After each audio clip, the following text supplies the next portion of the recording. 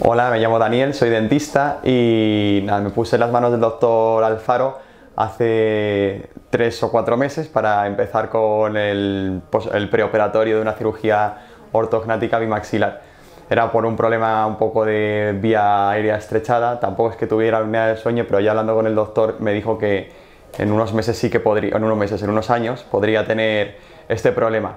y entre que yo tampoco descansaba nunca bien y, el tema estético para poder tener mejor perfil y, una cara más armónica, pues nada, me decidí casi sin pensármelo después de ver unos cuantos vídeos del doctor y me operé hace dos meses eh, de la bimaxilar y el postoperatorio fue pues una semanita fastidiado, pero a partir de la primera semana ya todo es cuesta abajo y cada día es un poquito mejor, un poquito mejor. Y nada, dos meses después prácticamente ya como de todo, no tengo ningún problema y bueno, aparte de, que descanso muchísimo mejor, sí se nota que la gente se ve mejor todo y me encuentro muy bien conmigo mismo. No me ha costado mucho aceptarme tampoco, o sea, no, no he tenido muchos problemas. Sí que al principio lo pasas un poquito mal viéndote todo inflamado, diciendo esto cómo va a quedar y tal, pero, pero nada, estoy contentísimo y, bueno, creo que es de las mejores decisiones que he tomado.